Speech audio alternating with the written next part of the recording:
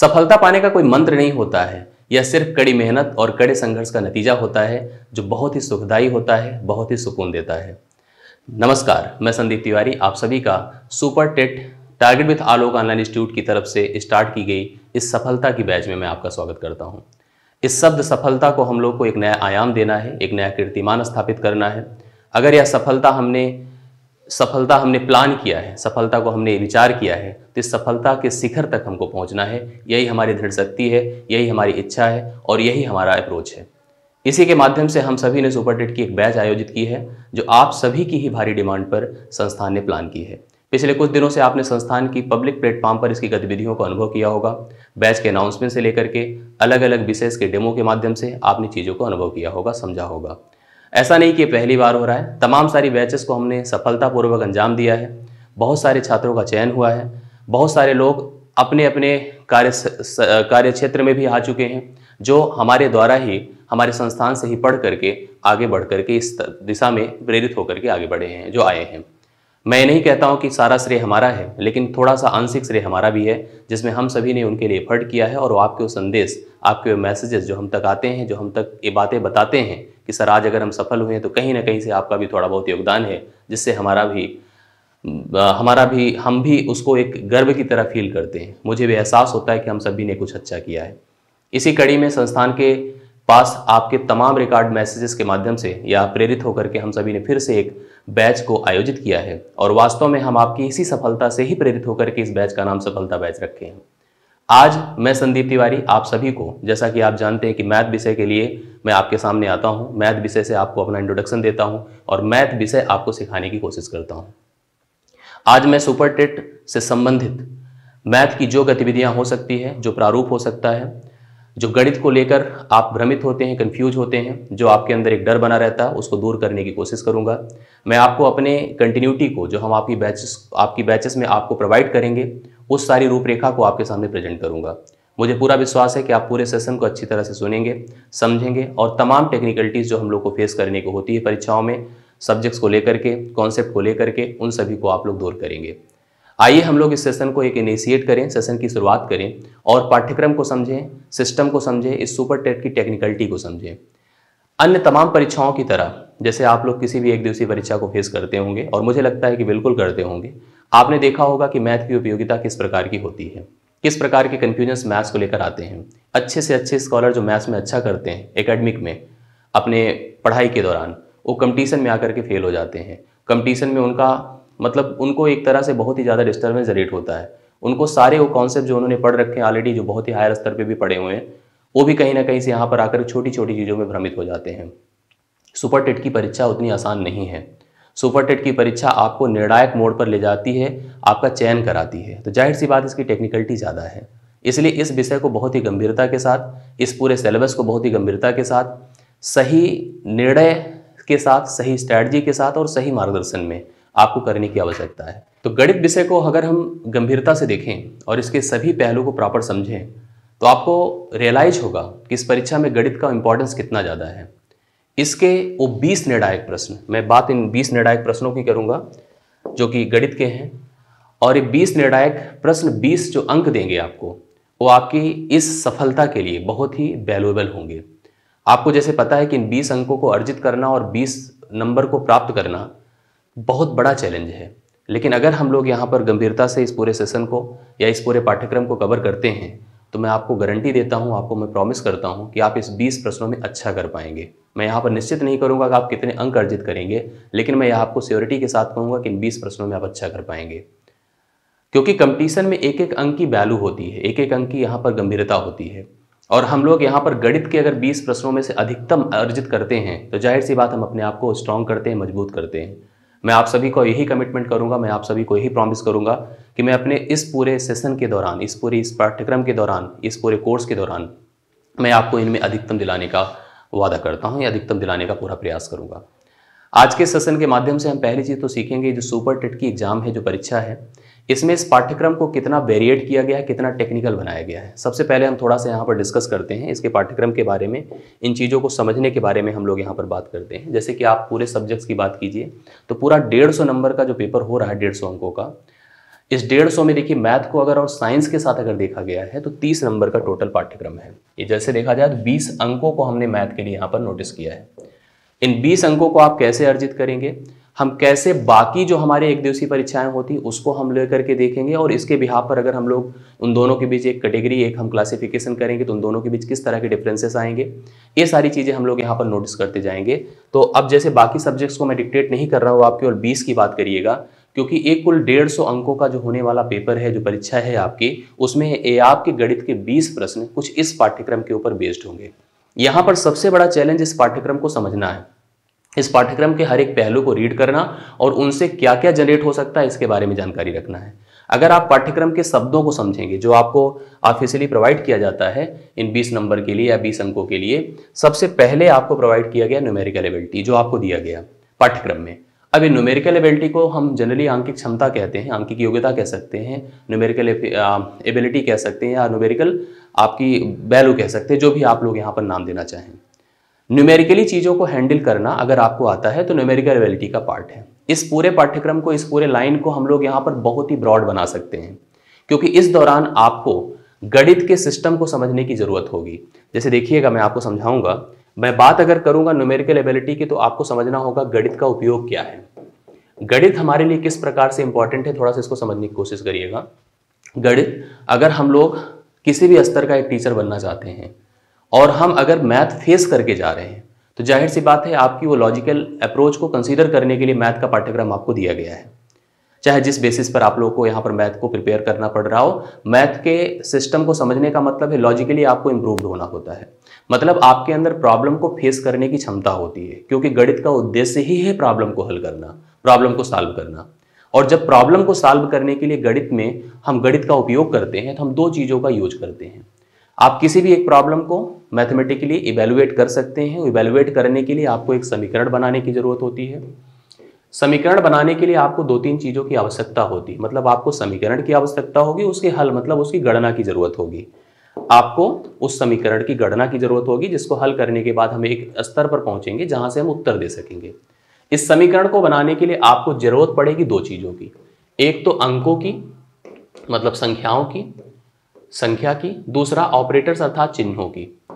अब हम बात अगर अंकों की करेंगे, बात अगर अंकों की करेंगे तो अंक हमारे पास यहाँ पर कई तीन तरह से बेसिकली हमको मिलेंगे। हालाँकि क्लासिफिकेशन इसका नंबर सिस्टम में और लेवल पे और ब्रॉड पढ़ा जाता है, लेकिन यहाँ पर मैं अंक की बात करूँगा तो अंक आपको बेसिकली जो आपको कैलकुलेशन में फेस करने को होंगे, वो आपको पूर्णांक अंक नज़र आएँगे, जो प्योरली इंटीजर होंगे, जिसको आप इंटीजर कह सकते हैं। जिसमें दशमलव के बाद शून्य होता है, अगर वो भिन्न के रूप में लिखा गया है तो नीचे एक होता है। आपको दशमलव की केवल संख्याएँ नज़र आएँगी, जिसमें दशमलव का सिंबल लगा होगा।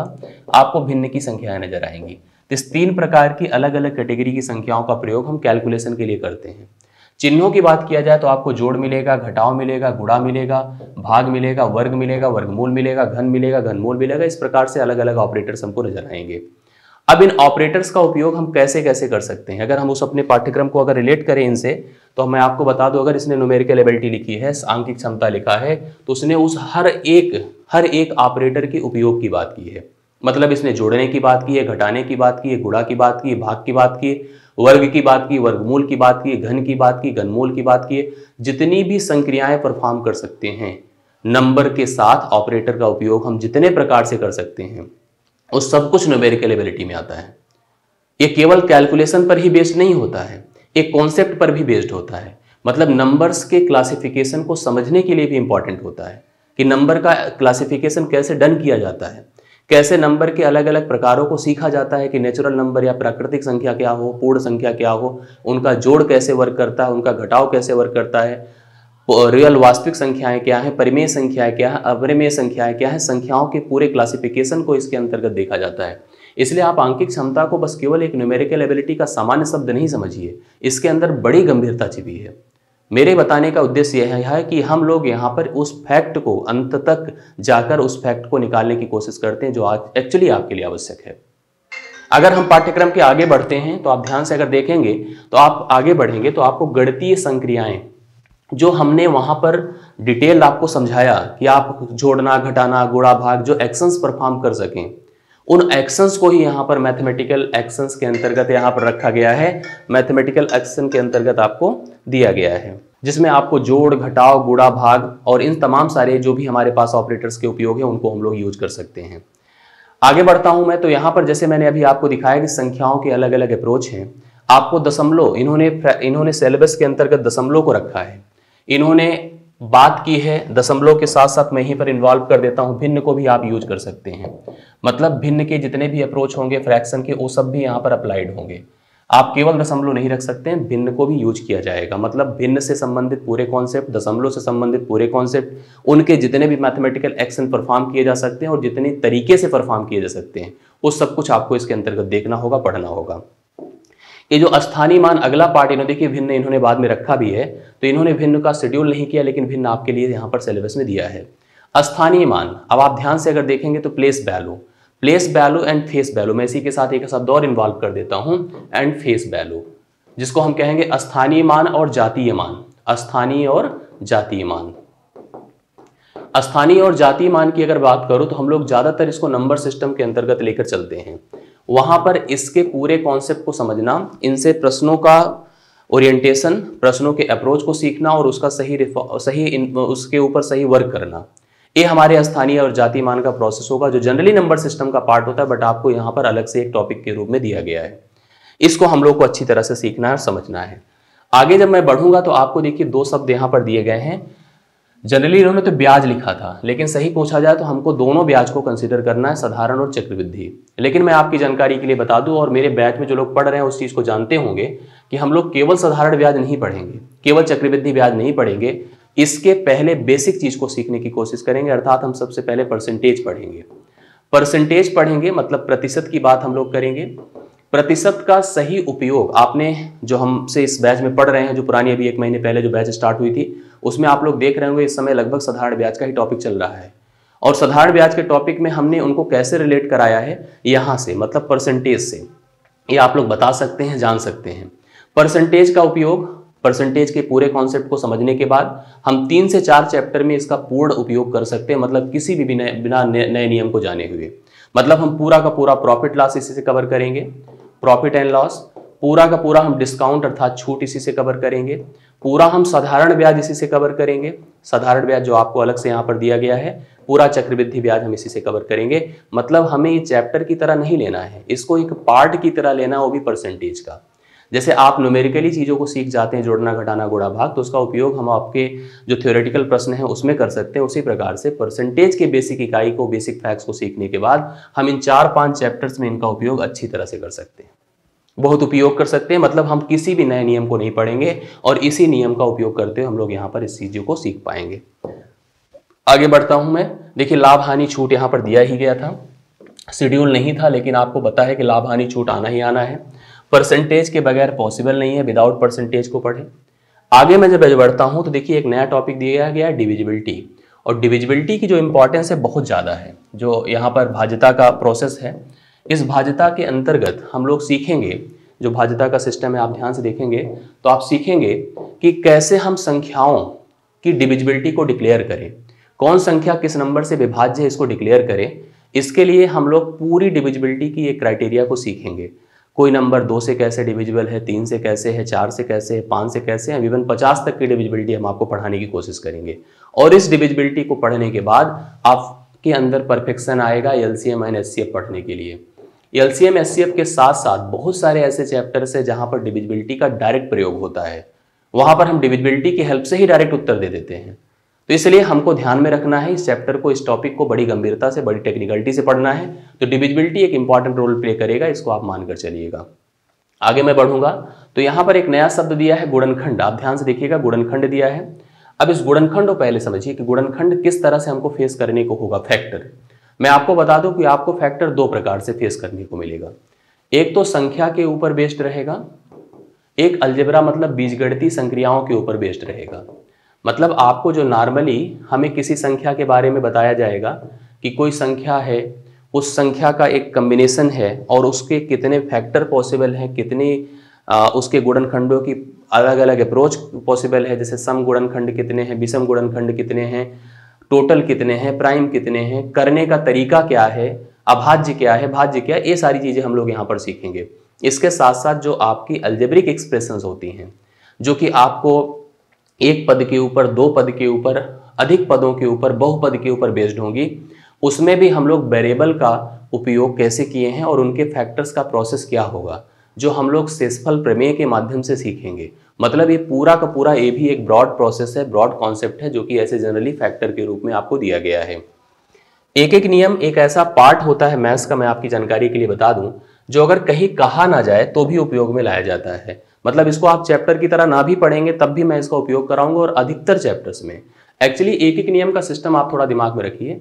हम लोग जैसे कभी मार्केट में कोई सामान परचेज करें तो कभी दुकानदार के पास अगर हम रेट पूछते हैं तो रेट हमें एक सामान का बताया जाता है। वही एक एक नियम है। जैसे आपको पाँच सामान का मूल्य नहीं बताया जाता है कि आपको जैसे लेना चार सामान है, आप गए दुकान में सामान का रेट पूछने तो उसने कहा, सर, पाँच सामान का रेट इतना है। आपसे वह एक सामान का मूल्य बताता है। वही एक एक नियम है। अब अगर उसने पाँच बता दिया, पाँच का रेट बता दिया और आपको लेना चार ही सामान है तो आपको एक का रेट खुद से डिक्लेयर करना पड़ेगा। वही एक एक नियम है। तो इस एक एक नियम को तो हम लोग बहुत यूज़ करेंगे और बार बार यूज़ करेंगे, लगभग हर चैप्टर में यूज़ करेंगे। इसलिए इसको अलग से पढ़ने की आवश्यकता बहुत कम होती है। इसको हम केवल अपने दिमाग में सेट कर लें, यही हमारी सबसे बड़ी टेक्निकलिटी है। आगे मैं बढ़ता हूँ, देखिए इसमें सामान्य बीज गणित अभी हम फैक्टर में भी डिस्कस किए कि बीज गणित का हम उपयोग करेंगे। तो यहाँ पर भी सामान्य बीज गणित के रूप में एक चैप्टर आपको दिया गया ज़्यादातर जो परीक्षाएँ होती हैं, उसमें बीज गणित को एडवांस मैथमेटिक्स के सेक्टर में रखा जाता है मेंसुरेशन को एडवांस मैथमेटिक्स के सेक्टर में रखा जाता है।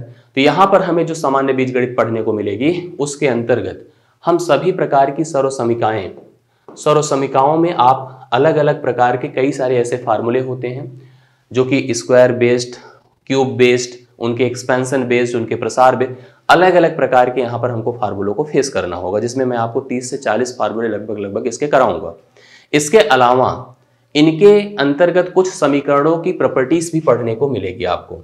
समीकरण की बात अगर हम लोग करें, जिसको एक्सप्रेशन कहेंगे तो चाहे एक पद पर आधारित समीकरण हो, दो पद पर आधारित रैखिक समीकरण हो, या द्विघात समीकरण हो, या आपके तीन घात के समीकरण हो, समीकरणों की जो प्रॉपर्टी है बेसिक उसका जो सिद्धांत है उसको पढ़ने की बात की जाए। जैसे अगर हम द्विघात समीकरण पढ़ेंगे तो द्विघात समित के, समीकरण के जो रूट हैं, मूल हैं, उन मूल के बारे में सीखेंगे, उस मूल का प्रोसेस सीखेंगे, उस मूल की प्रॉपर्टी सीखेंगे। ऐसे हम अगर दो चरों पर आधारित रैखिक समीकरण की बात करेंगे तो उनके भी मूलों के बीच संबंध को हम लोग सीखने की कोशिश करेंगे। ये पूरा का पूरा अप्रोच हम सामान्य बीज में लेकर आगे बढ़ेंगे। आगे मैं बढ़ता हूँ औसत। औसत औसत तो जनरली ऐसा पार्ट है मैथमेटिक्स का जो हम लोग की डेली लाइफ से रिलेट करता है। और अक्सर जो चैप्टर्स आप फेस करेंगे, जो अंगणित के बेस्ड होंगे, वो आपके डेली लाइफ से रिलेट करते होंगे। औसत सामान्य प्रोसेस है जो हम लोग जनरली आपस में एक दूसरे के साथ रिलेट करते हैं और औसत को भी पढ़ना जो मतलब मेरा प्रयास यही रहेगा कि हम उस स्तर का आपको पढ़ाएँ, जो आपकी सुपर टेट की परीक्षा में अगर एक भी प्रश्न आपको फेस करने को मिले तो आप एटलीस्ट उस पर रिस्पॉन्स कर सकें और अच्छा उस पर रिज़ल्ट करें और क्विक टाइम में कर सकें। मेरा उद्देश्य यही रहेगा। तो हम औसत को यहाँ पर एक पाठ्यक्रम का हिस्सा मानकर चल रहे हैं और इसके टर्म को हम बहुत ईजिली लेकर चलेंगे। कुछ चीज़ें, जैसे हम देखिए, जब पढ़ाना शुरू करेंगे तो हम सबसे पहले, जैसे अब यहाँ पर अगर हम इस पेज की बात करें, इस पेज में सबसे पहले इसने लिखा एरिया क्षेत्रफल मतलब क्षेत्रफल आयतन। अगर मैं इसकी बात करूँ तो ये मेंसुरेशन का पार्ट है। मेंसुरेशन जिसको हम लोग क्षेत्रमिति कहते हैं। क्षेत्रमिति में हम दो प्रकार के फिगर की बात करेंगे, दो तरह के फिगर की बात करेंगे। एक टू डायमेंशनल होगा, एक थ्री डायमेंशनल होगा। जो टू फिगर होंगे, उन अच्छा इन मेंसुरेशन के अंतर्गत हम ज्ञात क्या क्या करेंगे? हम परिमाप ज्ञात करेंगे मतलब पेरीमीटर हम क्षेत्रफल ज्ञात करेंगे, अर्थात एरिया और हम आयतन ज्ञात करेंगे मतलब हम वॉल्यूम की बात करेंगे। तो इसने केवल दो ही शब्द कहा है, क्षेत्रफल और आयतन, जो एक प्रोसेस है तो एक एक कैलकुलेशन है टू डायमेंशनल और थ्री डायमेंशनल फिगर के लिए। टू डायमेंशनल फिगर का अर्थ होता है, जैसे कि जो फिगर केवल प्लॉट किया जाता है। जैसे मान लीजिए त्रिभुज है, जो जनरली हमने एक पेपर पर या कहीं फ़ील्ड में हमने प्लॉट कर दिया। एक चतुर्भुज है, चाहे वो रेक्टेंगल हो, चाहे वो आपका स्क्वायर हो मतलब आयत हो या वर्ग हो, उसको हमने प्लॉट कर दिया। है फ़ील्ड की बात करें, या जिस कमरे में हम खड़े उस फर्श की बात करें, ये सब जनरली आयत या वर्ग के रूप में होते हैं। इसी में कुछ और फिगर भी बढ़कर आएँगे, जैसे पैलेलोग्राम समांतर चतुर्भुज जिसको हम लोग कहते हैं, रोमबस सम चतुर्भुज होता है, ट्रिपीजियम सबलम चतुर्भुज होता है। काइट की बात करेंगे, हम वृत्त की बात करेंगे, जो भले ही लीनियर लाइन से नहीं बना होता है, लेकिन वो भी हम प्लेन फिगर के तौर पर देखेंगे। उन सभी प्लेन फिगर का हम आयतन और परिमाप हम ज्ञात करने की कोशिश करेंगे। साथ साथ जो थ्री डायमेंशनल फिगर है, जिसके अंदर स्पेस होता है, जो प्लेन फिगर नहीं होता है, जैसे हम जिस कमरे में खड़े हैं, इसमें फर्श भी है, छत भी है, चार दीवालें भी हैं, तब हम जाकर इस स्पेस के अंतर्गत खड़े हैं। इस तरह के फिगर आपके थ्री डायमेंशनल होंगे, जिस फिगर का मुख्य काम, जिस फिगर के अंतर्गत मुख्य काम उसकी क्षमता, अर्थात आयतन को ज्ञात करना होगा। आयतन के साथ साथ इनकी जो सर्फेसेस हैं, भुजाएँ हैं, उनके क्षेत्रफल भी ज्ञात करेंगे, इनके भी बिकड़ की लंबाइयाँ भी ज्ञात करेंगे, इनके अंदर इनकी क्षमताओं का उपयोग कैसे किया जाएगा, इसका उपयोग करेंगे, इसका यूज़ करेंगे तो पूरा का पूरा मेंसुरेशन का पार्ट है। ये मेंसुरेशन का पार्ट आपको एडवांस मैथमेटिक्स के सेक्शंस में आपको दिखेगा। अनुपात और समानुपात शुरुआत का ही पोर्शन है, जो कि अर्थमेटिक का एक इंपॉर्टेंट पार्ट है। जैसे परसेंटेज की उपयोगिता होती है, जितना वैल्यू हम परसेंटेज को देते हैं, उससे बिल्कुल एक परसेंट कम वैल्यू हम रेशियो की नहीं देते हैं। क्योंकि पहले ही चैप्टर से आपको रेशियो दिखना शुरू हो जाएगा। भले उसको ना पढ़ें, लेकिन उपयोग हम करना शुरू कर देंगे। हम संबंधों को ही रेशियो कहते हैं, हम रिलेशंस को ही रेशियो कहते हैं। हम एक दूसरे के नेचर को डिस्क्राइब करना, एक नेचर एक दूसरे को, प्रकृति को हम हम एक तरह से तुलना करना ही रेशियो का प्रोसेस होता है। चीज़ों को बंटवारा, बांटने का प्रोसेस ही रेशियो के थ्रू होता है। तो रेशियो एक इंपॉर्टेंट सेशन है हमारे लिए, जिसके अंतर्गत केवल रेशियो ही नहीं पढ़ेंगे। हम इसके अंतर्गत एज रिलेशन भी पढ़ेंगे, जिसको हम कहते हैं आयु संबंध, जो आपकी परीक्षा या उत्तर प्रदेश स्तर की किसी भी परीक्षा के लिए बहुत ही इंपॉर्टेंट पार्ट माना जाता है। इस बात को हम मान कर चलते हैं कि आयु संबंध का एक प्रश्न हमारी परीक्षा में ज़रूर आएगा। पार्टनरशिप एक साझेदारी का चैप्टर होता है। साझेदारी में मैं आपको बता दूँ कि पहले ये बैंकिंग का ही पार्ट हुआ करता था। बाद में एसएससी या वनडे स्तर की एक दूसरी परीक्षाओं के अंतर्गत भी इसको इन्वॉल्व किया गया। अब आज की डेट में छोटी छोटी या बड़ी किसी भी परीक्षा में साझेदारी का प्रश्न आने लगा है। तो साझेदारी को हम लोग यहाँ पर अपना एक अच्छा पार्ट मानकर चलेंगे, अपना एक अच्छा टर्म मानकर चलेंगे। अब जैसे कुछ चीज़ें इसमें फालतू की सर्व समीकाएँ इस सर्व समीका को अलग से लेने की ज़रूरत नहीं है। इतने चैप्टर्स हम जो पढ़ रहे हैं ऊपर अभी, उसमें लगभग लगभग हम इतनी सर्व समीका कवर किए रहेंगे कि हमको अलग से डिटेल करने की ज़रूरत नहीं पड़ेगी। हम उसी के अंतर्गत सब कुछ कर लेंगे। अब आगे मैं बढ़ता हूँ, जिसमें एक चैप्टर आपके सामने दिया गया है, सामान्य बीज गणित सामान्य बीज सॉरी सामान्य जामिति एलिमेंट्री यहाँ सॉरी समान जामिति की बात की जा रही है। सामान्य जामिति अर्थात आप समझ रहे हैं कि हम लोग यहाँ पर ज्योमेट्री की बात कर रहे हैं। ज्योमेट्री की बात कर रहे हैं और ज्योमेट्री को थोड़ा डिटेल से समझिए आप लोग। ये ज्यामिति है। ज्यामिति, ज्योमेट्री, इसका प्रोनाउंसिएशन समझिए और मोस्ट इंपॉर्टेंट चैप्टर एक से दो प्रश्न कवर किए जाएँगे मेंसुरेशन भी इस पर काफ़ी वेस्ड होता है। क्योंकि अगर हम इस फिगर को समझे हैं, तभी जाकर के हम उसके आयतन, क्षेत्रफल या हम उसके परिमाप को ज्ञात कर पाएँगे। जिन फिगर्स का हम आयतन, बालूम आयतन, क्षेत्रफल या परिमाप ज्ञात कर रहे हैं, उस फिगर को समझना ही ज्यामिति है। ज्यामिति को अगर समझा जाए तो इसको हम जियो प्लस मेट्रियान कहते हैं। अगर हम बेसिक बेसिक से पढ़ाएँगे तो आपको यहाँ से शुरू करेंगे। जियो मतलब होता अर्थ या पृथ्वी, आप कह सकते हैं। मेट्रियान अर्थात मीजरमेंट्स मतलब हम पृथ्वी या पृथ्वी से संबंधित जो उसके अलग अलग भाग होते हैं, उनको अगर हम मीजर करने की प्रक्रिया की बात करें तो वही आपका ज्योमेट्री है। जिसकी शुरुआत यूक्लिड ने की थी। जिसको यूक्लिड ने प्रोवाइड किया था तो he was call the father of the father of the geometry तो हम यहाँ पर ज्योमेट्री को प्रोवाइड करने का श्रेय उनको देते हैं। इनके अंतर्गत आकृतियों का अध्ययन किया जाता है। आकृति मतलब जो फिगर हैं, उनका अध्ययन किया जाता है। फिगर के पूरे अप्रोच फिगर की जितनी भी क्लासिफिकेशन हो सकती है फिगर चाहे ओपन है, चाहे क्लोज्ड है, अर्थात तो नॉर्मल फिगर है या बहुभुज है। आप बहुभुज मतलब पॉलीगन जिसको रेगुलर क्लोज फिगर कहते हैं। बहुभुज के अंतर्गत जितने भी अंतर्गत फिगर आ सकते हैं, सभी प्रकार के त्रिभुज, सभी प्रकार के चतुर्भुज, सभी प्रकार के अन्य एन साइडेड फिगर जैसे कि पेंटागन है हेक्सागन है हेक्टागन है ऑप्टागन है नोनागन है डेकागन है, जितने भी फिगर्स के तमाम अलग अलग कॉन्सेप्ट या उनके प्रोस्पेक्ट्स हो सकते हैं। फिगर को डेवलप करना जाता कैसे है, बनाया कैसे जाता है? बनाने के लिए हमें दो तीन बेसिक इकाइयों की ज़रूरत होती है। सबसे पहले हम इस प्लेन फिगर पर प्लेन सरफेस पर एक बिंदु रखेंगे, जिसको हम पॉइंट कहते हैं या बिंदु कहते हैं। एक बिंदु से दूसरे बिंदु को मिलाएँगे तो लाइन अर्थात रेखा बनती है। एक रेखा को दूसरे रेखा के साथ हम ज्वाइन करेंगे तो इनके झुकाव या इंक्लिनेशन को हम कोण कहते हैं। अब अगर किसी फिगर का निर्माण होगा, इन तीन के बगैर संभव नहीं है। इन तीन की भी अपनी अलग अलग कैटेगरीज है क्राइटेरियाज हैं। उन क्राइटेरियाज को अलग अलग प्रिंसिपल्स या सिद्धांतों के माध्यम से पढ़ना होगा। बिंदुओं के सभी सिस्टम को समझना होगा, रेखाओं के सभी प्रकार को समझना होगा, कोणों की सभी टनलाजिस को सीखना होगा, फिर इनको फिगर में ढालना होगा। और जो फिगर बनकर आएगा, उनके अंतर्गत कोड़ों का क्या संबंध है, भुजाओं का क्या सिस्टम है, क्या रोल इन्वॉल्वमेंट है, उन सारी चीज़ों को हम ज्यामिति के अंतर्गत पढ़ेंगे।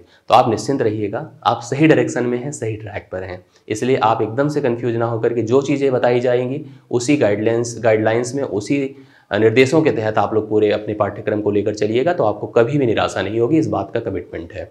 आगे मैं बढ़ता हूँ, जो अगला एक टॉपिक यहाँ पर सामान्य सांख्यिकी के रूप में आपको दिया गया है एलिमेंट्री या जनरल स्टैटिस्टिक्स कह सकते हैं, जिसके अंतर्गत आपको मीन बताया जाएगा। मतलब पहली चीज़ तो समझ लीजिए स्टैटिस्टिक्स है क्या? स्टैटिस्टिक्स सांख्यिकी जो एक प्रकार के किसी भी कलेक्शन का जो ऑब्जर्वेशन होता है एनालिसिस होती है, उसको हम सांख्यिकी कहते हैं। आप रिकॉर्ड को रीड करते हैं, वही सांख्यिकी है। उस रिकॉर्ड को रीड करने के बाद उसमें तमाम प्रकार के सेंट्रल अप्रोच परफॉर्म करने होते हैं। उसके केंद्रीय मानों को निर्देशित करना होता है। जो हम पढ़ने के लिए मीन का यूज़ करेंगे, जिसको हम माध्य कहते हैं। माध्यिका मीडियन होती है। जिसको हम माध्यिका कहते हैं। इसके बाद मोड होता है, जिसको हम लोग बहुलक कहते हैं। अर्थात आप समझने की कोशिश करेंगे तो आपको जो है, इस प्रकार से इन तीनों को समझने के साथ साथ इन तीनों का जो उपयोग है, कुछ अलग अलग प्रकार के फिगर में भी होता है। जैसे कि कुछ आपके बार ग्राफ होते हैं डाईग्राफ होता है आपका जो है पाई चार्ट होता है। इन अलग अलग फिगर के माध्यम से कुछ पोर्शन में डीआई का भी कवर कराऊँगा, जो आपके पाठ्यक्रम का हिस्सा रहेगा, आपके पाठ्यक्रम का पार्ट रहेगा। कुछ चीज़ें, जैसे मैं जनरल बता दूँ अभी से ही, जैसे कुछ सेट थ्योरी का पोर्सन है। अगर आप परीक्षा को फेस किए हैं, या आपने देखा है पुराने प्रश्न पत्रों को तो आपने देखा है कि प्रश्न कहाँ कहाँ से उठाए जा सकते हैं, पूछे जा सकते हैं।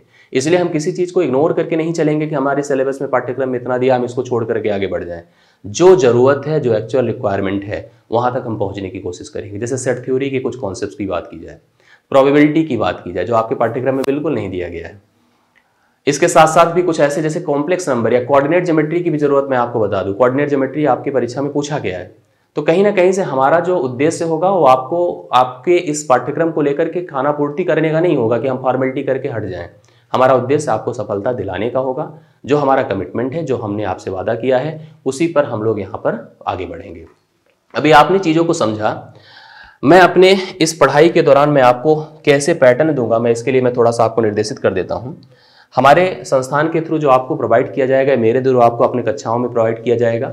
वो पहली चीज़ समझिएगा, प्रत्येक विषय की रेगुलर क्लास मैं मैथ को साथ में लेके चल रहा हूँ, क्योंकि अगर मैं कोई बात कह रहा हूँ तो मैथ को लेकर कह रहा हूँ। प्रत्येक इस रेगुलर क्लासेस जो हम लोग लाइव क्लास लेते हैं, आपको पता है कि हम लाइव क्लास के माध्यम से आपको हर चीज़ यहाँ पर आपके लिए संचालित करते हैं। हर टॉपिक आप लोग जो पढ़ रहे हैं, वो लोग भी जानते हैं कि इस तरह से ही प्रक्रियाएँ फॉलो की जाती हैं। हर टॉपिक का हैंड रिटन नोट्स लेकिन मैं बार बार सजेस्ट करता हूँ कि आप hand written notes self develop करें। हालाँकि मैं अपनी फॉर्मेलिटी के तहत मैं संस्थान के प्रति जो ज़िम्मेदारी है, उसके प्रति, आपके प्रति जो ज़िम्मेदारी उसके तहत मैं नोट्स को आपको प्रोवाइड भी करता हूँ पीडीएफ के फॉर्म में। क्लास प्रैक्टिस जो आपके हर टॉपिक को कॉन्सेप्ट को समझाने के बाद, उससे रिलेट करने वाली जो प्रैक्टिस सेट होती है, जिसमें आंसर नहीं होता है, वो आपको प्रोवाइड किया जाता है, उसका आंसर डिस्कशन उसकी क्लास उसके क्वेश्चंस का डिस्कशन क्लास में किया जाता है।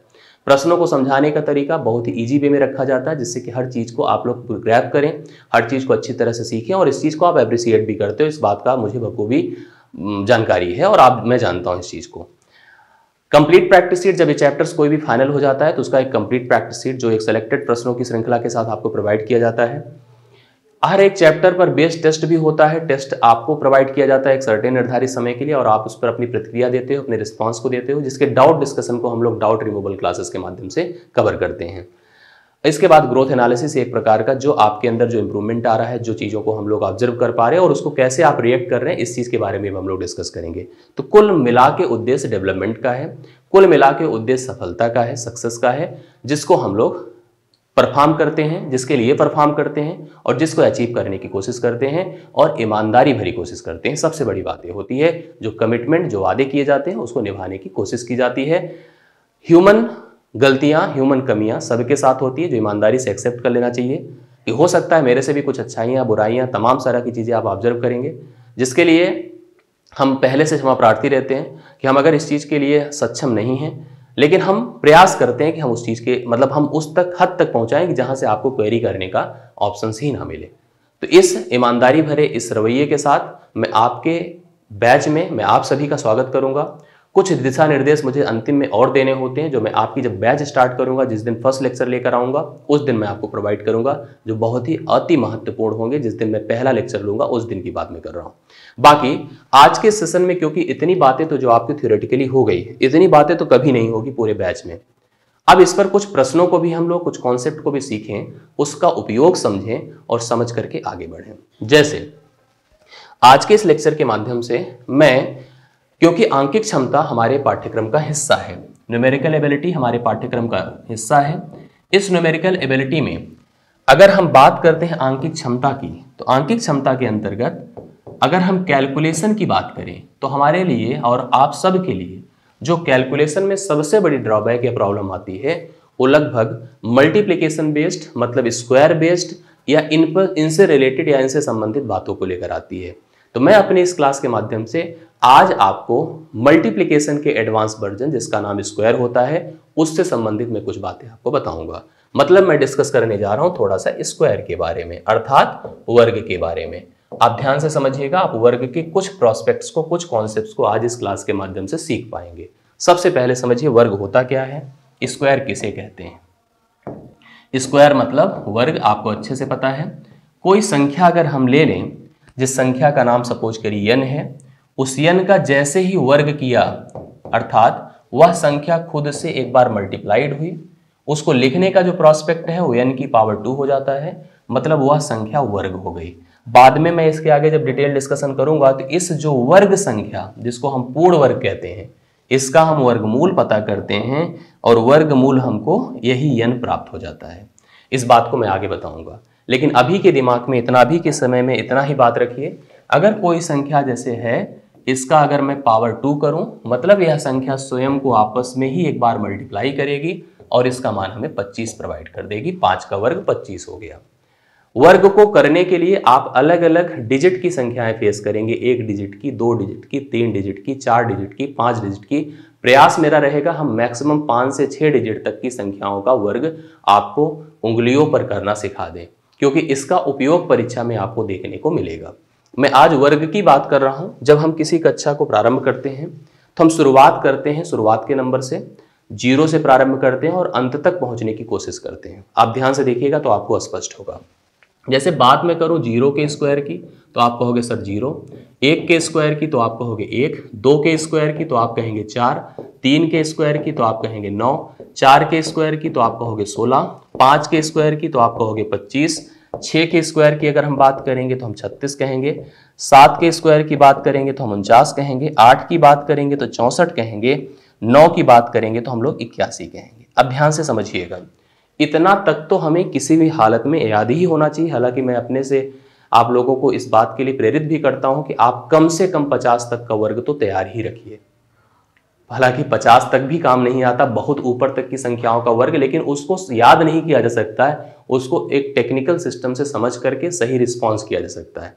जब आप किसी क्लास में, हम ऑफलाइन क्लास में या कहीं पर भी सामने रहते हैं स्टूडेंट सामने रहते हैं तो उस दौरान डिस्कशन जब होता है तो तेज़ी के साथ संख्या में सभी नौ का वर्ग, इक्यासी, दस का वर्ग, सौ, ग्यारह का, एक सौ इक्कीस, बारह का, एक सौ चौवालीस, तेरह का, एक सौ उनहत्तर बढ़ते चले जाते हैं। लेकिन जैसे जैसे संख्याएँ बढ़नी शुरू होती है, आवाज़ क्लास की धीरे होनी शुरू हो जाती है, क्योंकि लोग अब कम जानते हैं, चीज़ों को कम याद कर रखे हैं। अब अगर आप टू डिजिट की संख्याएँ जब ग्यारह से प्रारंभ, दस से प्रारंभ करेंगे, वहाँ से अगर हम निन्यानवे तक की बात करेंगे तो आपको दो अंक की संख्याएँ नज़र आएँगी। इन दो अंक की किसी भी संख्या का वर्ग करना, याद करना थोड़ा सा टफ होता है, इसलिए हम लोग कुछ पैटर्न फॉलो करते हैं, जिस पैटर्न के तहत हम लोग वर्ग कर पाते हैं। मैं आपको तरीके बताता हूँ। जैसे किसी भी दो अंक की संख्या की बात मैं करूँ, दो अंकीय संख्या की बात मैं करूँ आप किसी भी दो अंक की संख्या के लिए सबसे पहली चीज़ तो एक फार्मूला दिमाग में रखिए, जो कि आपने पढ़ा है ए प्लस बी का होल स्क्वायर होता है। ए प्लस बी के होल स्क्वायर में आप जानते हैं कि आप इसको लिख सकते हैं A square twice A B अब जनरल अगर हम लोग कैलकुलेशन की बात करेंगे तो यहाँ पर बीच में प्लस होता है ट्वाइस ए बी और प्लस बी स्क्वायर आपको इसी पैटर्न पर लिखना है, ना कि A square plus B square plus two A B लिखना है। इसको भी हम और अच्छे से समझाएँ तो आपको कहेंगे, आप ऐसा सोचिए कि आप जो दो अंक की संख्या उसको दो पार्ट में लेकर चलिए। दहाई के अंक को ए मान लीजिए, इकाई के अंक को बी मान लीजिए।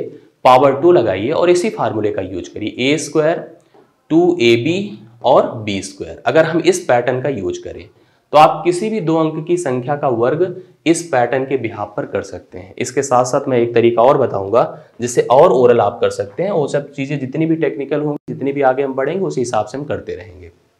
अब जैसे मान लीजिए, मैंने कहा, ध्यान से देखिएगा मान लीजिए अगर कोई भी संख्या सपोज़ करिए, मैंने कहा तेईस ले लिया मैंने। तेईस के वर्ग की बात किया तो आप इसको दो पार्ट में ऐसे ही ब्रेक कर दीजिए।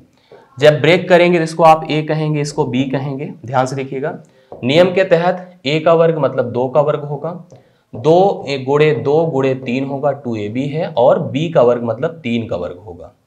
ये आपका चार हुआ, दो दोना चार गुड़े तीन बारह हुआ और नौ हुआ। अब आप लिखने का सिस्टम समझिएगा, इसको नौ लिखा जाएगा, इसमें से दो केवल लिखा जाएगा और एक को यहाँ पर कैरी बनाया जाएगा, कैरी मतलब जोड़ दिया जाएगा। ये पाँच हो जाएगा इसका वर्ग, जो कि तेईस का वर्ग है। प्रोसेस ये हुआ, अगर कैरी ना बना होता तो सीधा सीधा लिखते चले जाते। जैसे मान लीजिए अगर मैं कहता तेरह का वर्ग मुझे करना था तो आप एक का वर्ग करते, दो गुड़े एक गुड़े तीन करते और तीन का वर्ग करते। तो आप इसको एक लिखते, इसको छः लिखते, इसको नौ लिखते, उत्तर एक सौ उनहत्तर हो जाता। सीधा सीधा आप उत्तर लिख सकते थे आंसर कर सकते थे। अब यहीं पर मैं एक और तरीका आपको समझाता हूँ किसी भी दो डिजिट की संख्या को समझने के लिए। मान लीजिए कोई भी दो डिजिट की संख्या सपोज़ करिए तेईस है तो आपके पास अभी दो पैटर्न हो गए, दो फार्मूले हो गए। उसके बिहार पर आप आंसर कर सकते हैं। तेईस का वर्ग मतलब ऐसे सोचा जाए तो तेईस गुड़े तेईस है। तेईस गुड़े तेईस है।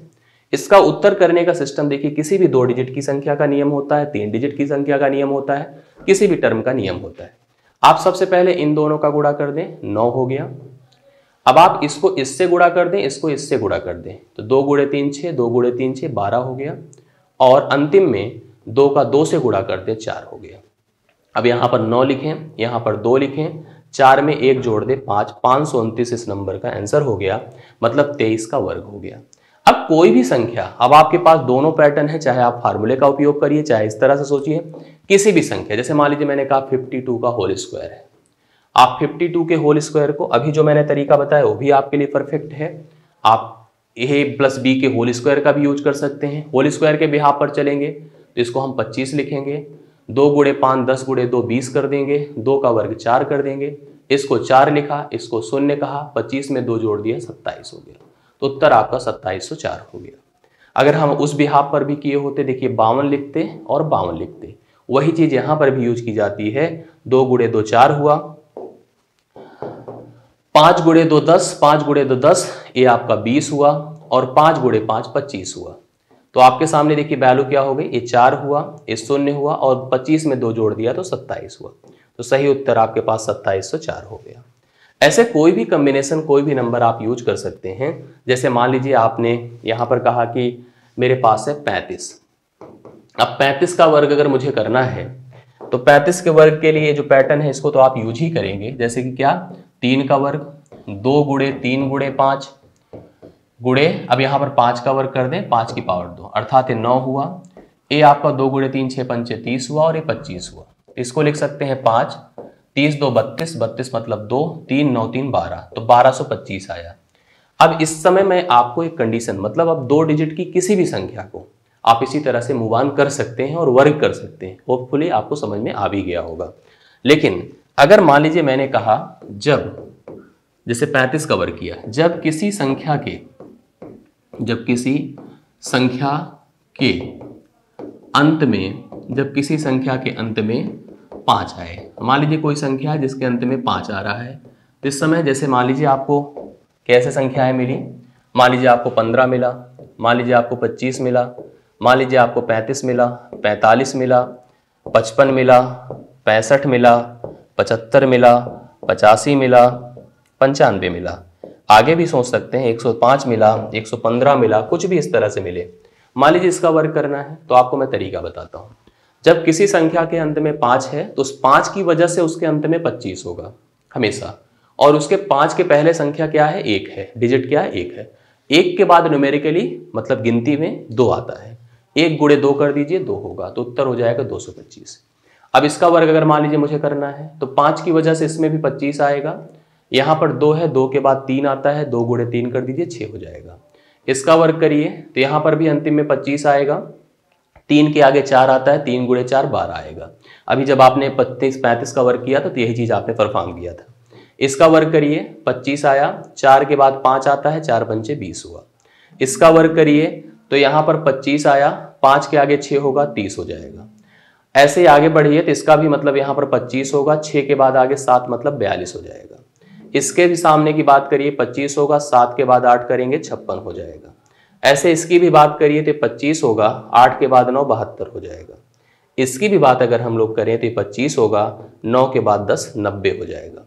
तो आप लोग यहाँ पर क्या करते जा रहे थे? अगर कोई भी संख्या हमें नज़र आई, जिस संख्या के अंत में पाँच था तो आपने क्या किया? अंत डिजिट का जो इंड डिजिट था, उसके बिहार पर अंत में पच्चीस कर दिया। बाकी जो अंक बचे थे, उसके आगे, उसके सक्सीजर के साथ उसका गुड़ा करके हमने फाइनली उत्तर कर दिया। होपफुली आपको ये सारी बातें समझ में आ गई होगी, कैसे प्रोसेस किया जा रहा है, क्या सिस्टम होता है। ओके अब आगे आप बढ़िए जो आप पैटर्न यूज़ कर रहे हैं, उस पैटर्न के बिहार पर आपको आगे जब नंबर्स नज़र आएँगे धीरे धीरे आप बढ़ते जाओगे, जैसे आप बयासी पर पहुँच गए। चलिए। तो आपने कहा, सर, बयासी के लिए भी आपने फार्मूला बताया, उसी फार्मूले का प्रयोग कर सकता हूँ या इस टेबल का प्रयोग कर सकता हूँ? क्या है टेबल दो गुड़े दो चार ना? ये देखिए, इसका इससे गुड़ा इसका इससे गुड़ा तो क्या नंबर हो जाएगा? आठ दूना सोलह, आठ दूना सोलह सोलह बत्तीस। और आठ गुड़े आठ, चौसठ। दोनों पैटर्न है आपके पास। चार लिखेंगे, दो लिखेंगे, चौसठ में तीन जुड़ सड़सठ हुआ। सड़सठ सौ चौबीस हुआ। इसी तरह से और आगे बढ़ेंगे। मान लीजिए हमने कहा अट्ठानबे वर्ग करना है। अर्थात अट्ठानबे और अट्ठानबे दो बार लिखा मैंने। आठ अठे, चौसठ हुआ। आठ गुड़े नौ बहत्तर, आठ गुड़े नौ बहत्तर। तो बहत्तर बहत्तर एक सौ चौवालीस होगा। आई होप समझ में आ रहा होगा आप लोग को? एक सौ चौवालीस होगा। गलती ना होने पाए किसी भी तरह की। इसके बाद नौ गुड़े नौ कितना होता है? इक्यासी। ऐसे लिख दिया। आप देखिए, थोड़ा सा हैंडल करना यहाँ पर टफ होगा। और इसी प्रॉब्लम को मैं फिर से दूर करूँगा और अच्छे से दूर करूँगा। आप ध्यान से देखिएगा। यहाँ पर चार लिखा जाएगा, इसके इसके साथ जोड़ा जाएगा तो डेढ़ सौ होगा। डेढ़ सौ का केवल शून्य लिखना है और कैरी जो पंद्रह आएगा, पंद्रह इसमें जोड़ दीजिए। अब सोचिए, इक्यासी में दस जोड़ेंगे इक्यानवे इक्यानवे में पाँच जोड़ेंगे तो छियानवे। मतलब ये वैल्यू आपकी नाइन सिक्स ज़ीरो फोर हो जाएगी। अब सोचिए, थोड़ी सी टेक्निकलिटी यहाँ पर बढ़ी है। इस टेक्निकलिटी को कैसे दूर करेंगे, इसके लिए मैं कुछ और प्रोसेस आपको बता रहा हूँ। यहाँ से मैंने संख्याओं के नेचर को जब रीड किया तो पता चला ये संख्याएँ सौ के नज़दीक हैं। मतलब तीन डिजिट के आसपास पहुँचने लग जा रही हैं। सौ के नज़दीक है, लेकिन सौ से क्या है? कम है। तो मैं एक हेडिंग आपको करा दूँगा कि जब जो संख्या है, वह सौ के नज़दीक, सौ के नज़दीक तथा सौ से कम है। सौ के नज़दीक है तथा सौ से क्या है? कम है। तो देखिए कैसे हम इसको मैनेज करेंगे। अब ध्यान से देखेंगे। अब जैसे मान लीजिए मैंने अभी 98 को लिया है। अब आप इस संख्या को देख रहे हैं 100 के नज़दीक है टर्म्स एंड कंडीशन आप फेस करिएगा। लेकिन 100 से कम भी है। तो आप पहले सोचिए कि वह 100 से कितना कम है। तो आप कहोगे, सर 100 अगर आधार है तो 100 से ये दो कम है। अगर 100 से दो कम है तो मतलब दो की कमी है। तो जितना कम है, उतना ही और कम कर दें। मतलब अट्ठानबे में भी दो निकल जाएगा तो छियानवे हो जाएगा। एक बात समझिए, सौ से दो कम था तो सौ से जितना कम है, उतना ही और कम कर दें। तो अट्ठानबे का दो और कम किया जाएगा तो छियानवे होगा। अब जितना कम था, उसका वर्ग कर दें। दो का वर्ग क्या होता है? चार होता है। उस चार को दो डिजिट में लिख दें तो ज़ीरो चार लिख सकते हैं। इसका उत्तर ज़ीरो चार हो जाएगा। देखिए, ओरल हमने किया, आपको समझ में आया होगा। जो संख्या है, अगर वह सौ से कम है तो जितना कम है, उतना ही और कम करें। और जिस जितना कम थी, उसका वर्ग करें। वर्ग को बस दो डिजिट में लिखने का प्रयास करें। दो डिजिट में लिखने के प्रयास का मतलब यह है कि हो सकता है कभी एक डिजिट में आए तो उसके आगे शून्य बढ़ाना हो, कभी दो डिजिट में आए तो एजिटिज लिखना हो, कभी दो से ज़्यादा डिजिट में आए तो कैरी के हिसाब से मैनेज करना हो, जिसको मैं एक दो एग्ज़ाम्पल के माध्यम से करा दे रहा हूँ। जैसे, मान लीजिए चौरानवे है नाइन्टी तो 94 के लिए आप क्या लिखेंगे? देख रहे हैं सौ से छह कम है। छह और निकालिए मतलब बारह निकल गया तो अट्ठासी हो गया।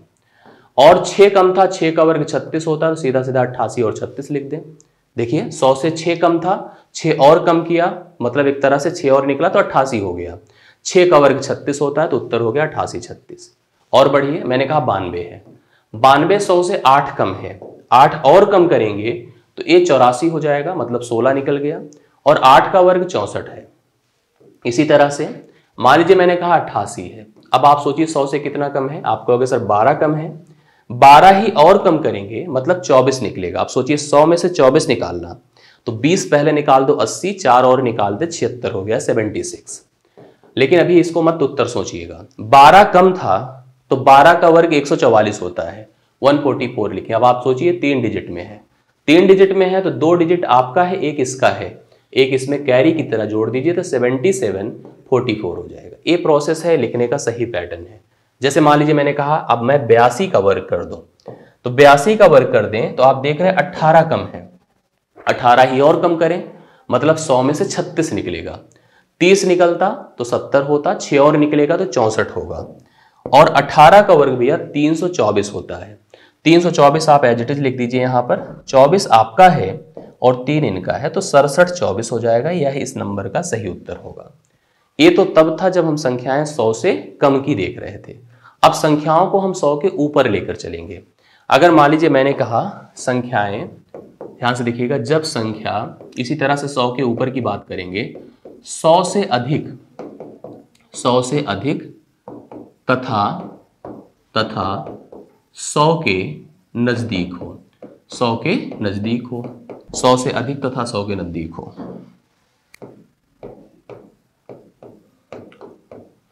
सौ से अधिक है तथा सौ के नज़दीक है। ध्यान से देखिएगा, जैसे मान लीजिए आप कोई भी संख्या लीजिए, अभी सपोज़ करिए आप 101 लीजिए। 101 का वर्ग करना है प्रोसेस समझिएगा। अब यह 100 से ज़्यादा है, और कितनी ज़्यादा है बताएँ? एक ज़्यादा है। जितना ज़्यादा है, उतना ही और बढ़ा दें। जितना ज़्यादा है, उतना ही और बढ़ा दें, अर्थात यह 102 हो जाएगा। और एक का वर्ग क्या होगा? एक ही होगा, जिसको हम दो डिजिट में लिखेंगे तो यह ज़ीरो वन हो जाएगा। समझिएगा? 101 सौ से एक ज़्यादा है तो एक ही और बढ़ाएँ 102 हो गया। एक का वर्ग कर दें तो ज़ीरो एक हो गया। ऐसे मान लीजिए 103 है। यहाँ पर इस संख्या की बात किया जाए 100 से तीन ज़्यादा है, तीन ही और बढ़ाएँ 106 हो गया। तीन का वर्ग करेंगे तो ज़ीरो नौ हो जाएगा। इसी तरह से अगर मैं कहूँ, कह दूँ 106 है, सौ से कितना ज़्यादा है? सौ से यह संख्या आपकी 6 ज़्यादा है तो 6 और बढ़ाएँगे 112 होगा 6 का वर्ग 36 होगा। ऐसे मैंने कहा 108 है 100 से कितना ज़्यादा है? 108 100 से 8 ज़्यादा है। तो 116 कर दीजिए 8 का वर्ग चौसठ कर दीजिए। इसी प्रकार से अगर और आगे बढ़ जाए, जैसे 100 मान लीजिए 13 है 113 100 से 13 ज़्यादा है 100 आप इसको 26 कर दें और 13 का वर्ग एक सौ उनहत्तर कर दें। तो मैंने जैसे आपको कहा था, दो डिजिट में ही लिखना है। तो ये आपका उनहत्तर आपका होगा, एक इनका होगा 127 और उनहत्तर हो जाएगा। ऐसे मैंने फिर से आगे बढ़ने की कोशिश करी। मान लीजिए मैं 124 पर पहुँच गया। अब देखिए, जितना आपको तैयार है, जैसे मैंने कहा था शुरुआत में पचास तक के वर्ग को एटलीस्ट तैयार करिएगा। तो 50 तक के वर्ग के विभाग पर अगर सोचा गया तो यह 24 है तो 24 तो बहुत क्लोज है, बहुत पहले है। 148 होगा और 24 का वर्ग 576 होता है। अब आपका ये पाँच इसके साथ ऐड होगा। 15376 इसका वर्ग हो जाएगा। तो कहने का अर्थ होता है कि अगर संख्या सौ के नज़दीक है, सौ से चाहे कम है, चाहे ज़्यादा है तो उसका नेचर क्या है, उसका पैटर्न क्या है? इस प्रकार से हम इस कॉन्सेप्ट को समझ पाते हैं। अभी तो मैंने आज बहुत ही कम समझाने की कोशिश करी, इस लेक्चर में बहुत बड़ा नहीं बना रहा हूँ। मैं आगे फिर से एक लेक्चर लेकर आऊँगा, जिसमें मैं प्रयास करूँगा, अब केवल कॉन्सेप्ट होगा और मैक्सिमम टू मैक्सिमम होगा। प्रयास मेरा रहेगा, मैं लाइव आऊँगा, जिसमें आपको ये चीज़ें, आपके साथ ही मैं प्रैक्टिस के माध्यम से आपको इंटरेक्ट कराऊँगा। आज बड़ा लेक्चर ना हो, बोरियत ना हो, इसलिए मैं इस लेक्चर को यहीं पर फिनिश करूँगा। अभी इसमें बहुत चीज़ें हैं जो आपकी बताने के लिए हैं, जो आपके लिए इंपॉर्टेंट है। आई होप ये भी आपके लिए बहुत ही वैल्यूएबल है। हम लोग नेक्स्ट सेशन में नेक्स्ट क्लास में इसके आगे की प्रक्रिया पर बात करेंगे। आशा करता हूँ मेरी बताई सभी चीज़ें आपको समझ में आई होगी। इसके लिए आप सभी को बहुत बहुत धन्यवाद इस क्लास को देखने के लिए, समझने के लिए। मिलते हैं अगली क्लास में। Thank you so much